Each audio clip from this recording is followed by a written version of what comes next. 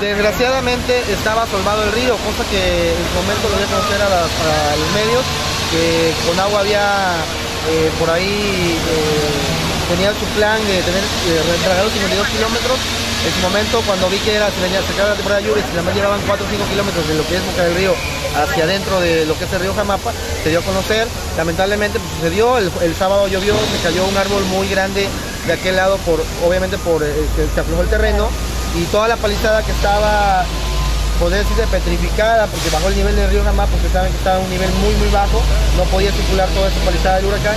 Ahorita que subió nuevamente el río, trajo toda esa palizada y aquí está la consecuencia, lo que es la palizada, porque si no se formaría un embudo. Ya abriendo la orilla por lo menos nos da chance de que, que la lluvia del, del- del próximo jueves nos, nos tenga en jaque, ¿no?